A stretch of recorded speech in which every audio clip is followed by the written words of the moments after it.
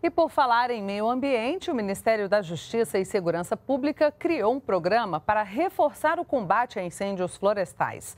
A iniciativa vai garantir recursos para a compra de equipamentos, além de criar mecanismos para fortalecer a integração entre órgãos federais e estaduais no combate a esse tipo de calamidade. Nos próximos dois anos, o programa Pro Ambiente, instituído pelo Ministério da Justiça e Segurança Pública, vai destinar recursos para equipar os bombeiros militares de todo o país. Além disso, será criado um protocolo único de combate a incêndios florestais e desastres naturais, respeitando as especificidades de cada região. Nós desejamos dar a essas forças que trabalham com a proteção do ambiente a logística necessária para assim fazer.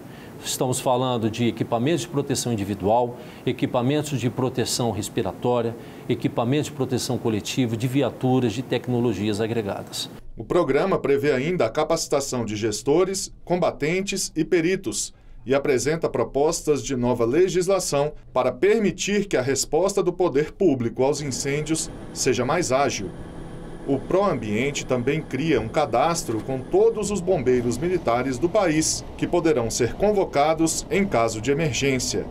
O acionamento desses profissionais e a elaboração dos planos de combate aos incêndios será responsabilidade da Secretaria Nacional de Segurança Pública.